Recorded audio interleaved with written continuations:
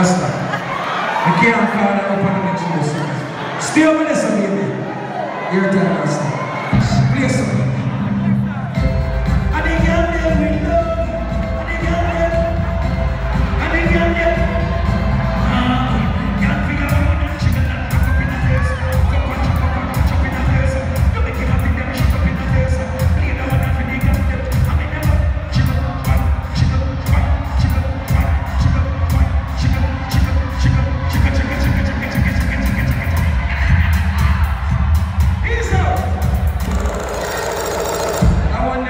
grandson exhilarating. Give her